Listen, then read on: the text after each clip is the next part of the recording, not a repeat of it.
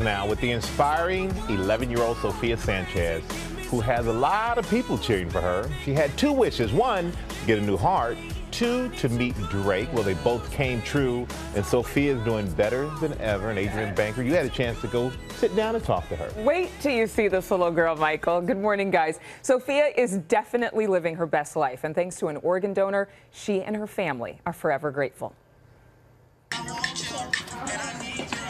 She's the viral video superstar whose dance moves to Drake's mega hit, In My Feelings, won hearts worldwide. Hi, my name is Sofia, and I'm 10 years old, and I'm about to turn 11. But it was Sofia Sanchez's birthday wish that changed everything. And I love your music.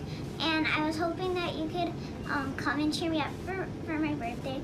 Oh my God! And he came through. You asked me to come, I'm here. I froze. You froze? Yeah, I was like, is this a dream or is this not a dream? I was like, oh my God. And look who came to surprise me. Just for you, my dear. Drake. that invite from her hospital bed while waiting for her other wish, a new heart. I knew she was sick. I was carrying her around for six weeks from doctor to doctor. Everyone was diagnosing her with asthma, psychological issues, everything but the heart. After weeks of misdiagnoses, Natalie Sanchez brought Sofia to Chicago's Lurie Children's Hospital, where doctors immediately identified cardiomyopathy. Sofia's heart was too big. By pushing and by asking other doctors, you saved her life. Yes, I feel very grateful to be where we're at today. The only cure, a heart transplant. She had 12% um, of her heart pumping and so it was barely squeezing. It's horrible. You, it's just a waiting game. You just have to wait. One week later, mom delivers a surprise. I'm getting a heart, Mom! Yes, it's amazing. Yes, baby. I'm excited. oh my God! I know. I love you. Sofia's nine-hour heart transplant operation, a success. What do you think about when you know that there's a child whose heart is inside of you now. It's important for everybody to donate their good organs to other people to give them a second chance of life because even though like a tragedy happens, something good comes out of it. Now out of the hospital, she's in recovery. How are you? Good. And loves to visit what became a second home. My best friend on the unit. Doctors say it's her optimism and constant smile that helped Sofia heal.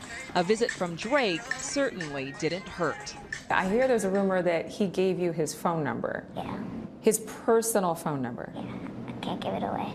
You can't give it away. Now, I think you promise, and it's his personal phone number. And he's famous, so he's busy.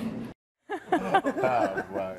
We just fall in love with this girl. I mean, yeah, she says Drake promises also to call her up on stage at one of his concerts and sing God's Plan to her, mm. her favorite song. She told me she wants to help other kids know what to expect in preparation for open heart surgery. So she plans on going back to that. That was hospital. the best stiff arm I ever saw in an interview. Can't give it away. not coming back. Now, and one of the coolest things is that the doctor who performed the surgery, he does this with all of his patients. He lowers the heart inside of them and says, welcome to your new home. Oh my goodness. And we do have to think about the old home. Yeah. Where that heart was and that family. Absolutely. And how they have What a gift. Yes. What a gift. What a priceless gift. Yeah.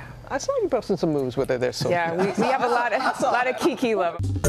Well, hey there, GMA fans. Robin Roberts here. Thanks for checking out our YouTube channel. Lots of great stuff here. So go on, click the subscribe button right over, right over here to get more of awesome videos and content from GMA every day, anytime.